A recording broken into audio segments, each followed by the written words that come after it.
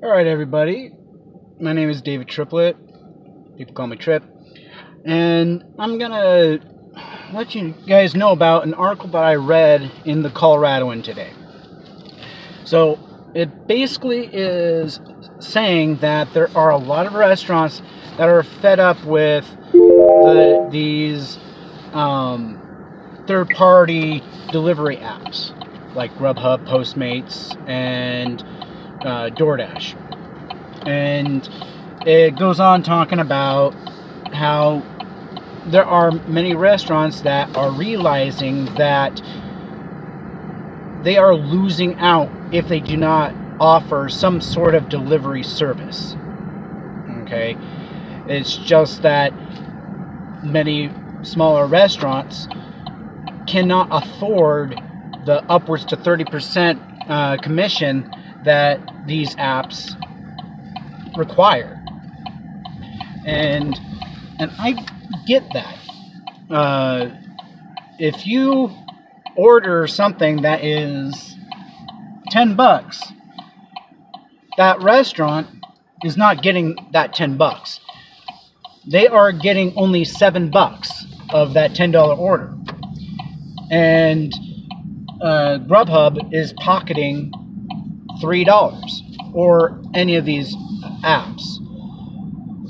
And it's not entirely fair for these smaller stores that are working on margin. They need that uh, extra money so that they can support their business and have it grow. And I understand that. And uh, it it doesn't help them if these apps are uh, charging these higher prices for them. And so, what's going on eh, here in Fort Collins is that there are uh, restaurants that are uh, joining together and they are creating another third party type service that is going to have better customer service because that's also another issue that is brought up in uh, these uh, uh, third party apps that these restaurants have. Um, and even though, yes, there's 24 hour customer support with these apps, uh, it's just that a lot of times there's a lot of wait times for these customers, and they can't necessarily get them resolved in a timely manner. And that's kind of ridiculous. And it hurts, especially, you know, as a driver trying to call uh, customer support to get an issue taken care of. Sometimes it's two, three, 15 minute, 30 minute wait in order to get uh, an issue solved. And that is definitely not something that we want to have as drivers. And, you know, restaurants don't want to call in because they run into the same issue. And think about the customers. And so these restaurants are wising, wisening up. They see that we need offer delivery service. So let's go ahead and make our own uh, delivery service.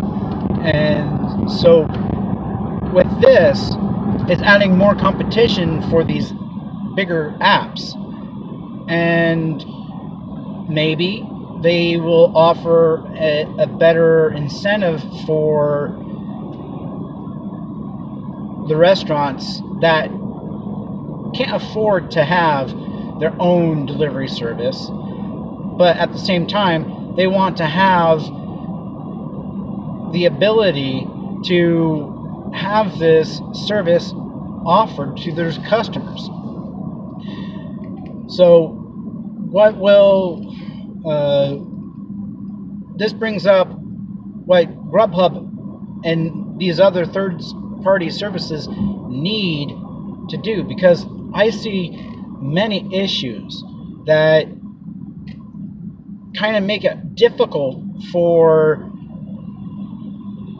restaurants to be able to offer offer a delivery service for their customers because it, they're faced with a catch 22. They either don't do it and lose customers, or they do do it and lose money. Because, sure, they're going to get more customers uh, and more return customers because they're getting uh, more orders, but at the same time, they're losing out on profits because of the commissions. And so, what these third party apps need to do is try to figure out one, how to become more profitable without taking such a large portion from these smaller restaurants. Maybe offer uh, a subscription service for these smaller restaurants. That way, they don't have to see such a huge margin uh, taken away from their uh, their orders, and also they need to offer better customer service. Maybe what they may need to do is um, start offering uh, a way to where restaurants can go ahead and handle um, these customer complaints and get it taken care of within the app on the tablet. And that way, you know, if Grubhub or Postmates or whatever customer service can't help them in a timely manner, they just call the restaurant and the restaurant is able to one refund the order, two uh, offer credit, or three, you know, get the customer taken care of. What's so hard about implementing that in the app? Just a few more buttons, a few more permissions, and then, you know, off and away, the customer's taken care of by the restaurant, and it's easily done without too much headache or wait time for customers. And not only that, um, restaurants don't have to call customer care to, uh, for simple things like, let's say, customer calls the restaurant saying, "Hey, my address is actually this." Oh, let's go ahead and get that taken care of, and the customer just uh, the restaurant goes ahead and puts in the new address. It updates the customer's information, letting us drivers know, hey, you're actually going to this, and then automatically calculating what the mileage pay should be if they keep doing mileage pay. And that way, you know, it it's a little bit simpler. We don't have to wait around for that. And not only that, but another thing that hurts these small restaurants is when us drivers, hey, we want to make money and we don't want to see these lowball offers. I get that, okay? But as a customer point of view, well, maybe I can't offer a tip. And so uh, the restaurant can't control what the customer does with a tip. And so if there is some sort of incentive for people to take these lowball offers, maybe we won't, the restaurants won't see orders that are waiting an hour, two hours, three hours, or however long it, it takes before somebody comes to pick up the freaking dang order. It's it's ridiculous. You know, and maybe if there it was some sort of incentive for drivers to pick up these small lowball orders, these restaurants won't have to remake food or you know cancel an order after they've already made it and they're out of money. It's ridiculous. You know, it's something that needs to be addressed because overall, when us drivers don't pick up these orders, it's passed around from one driver to the next driver until somebody finally decides to pick it up. And I understand that, yes, we have to make sure that these orders make sense for us as drivers. And, you know, reject away, no problem. But, you know, these apps need to address the situation, make it more beneficial for us to accept those orders that we don't necessarily want to take on the regular. Because that's going to increase the driver's acceptances and it will make it so that customers are taken care of, restaurants are taken care of. You know, you got to look into this, or else restaurants are going to start coming up with their own third party delivery services for all these small restaurants that need to have some sort of delivery but can't necessarily do it themselves or want to or have the time, effort, or money to be able to uh, put man- manpower into doing deliveries. You know, sure, you know, say, oh, people say, oh, you just have to hire somebody to drive a car. They don't realize that there's other factors in there. Even though each driver has insurance, their own insurance, do you think if that person gets into an accident that the customer is going to want to go off, off of the driver's insurance to try to get some money? Heck, they want to try to go for uh, after the restaurant because they feel that the restaurant is at fault. That it's the restaurant's driver. The restaurant uh, is uh, the driver is working for the restaurant, and they can try to get more money out of the the insurance company because it's going to be the restaurant's insurance, not the driver's insurance. And everybody's going to fight around. So the restaurant has to have some sort of insurance. Not only that, but the restaurant has to um, have uh, all these different types of taxes and insurance uh, that they have to put on the drivers that they hire. Whereas if they have a third party uh, delivery service do it, they don't have to worry about that mess.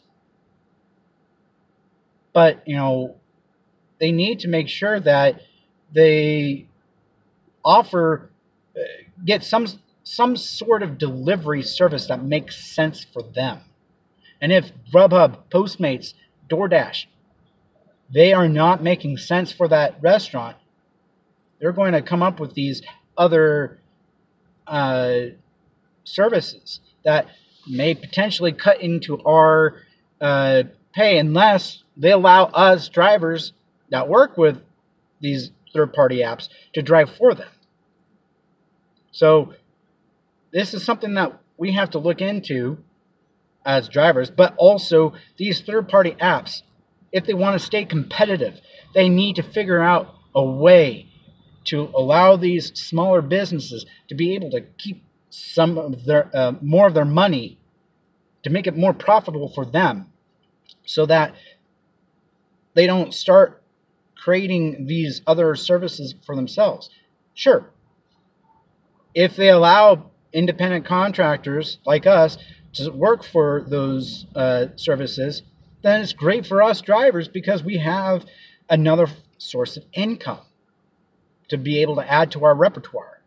But if they're hiring W 2 type workers, you know, it's not effective for us to try to drive for them because who knows how horrible the pay might be and we're no longer our own bosses if we uh, decide to sign up with that service.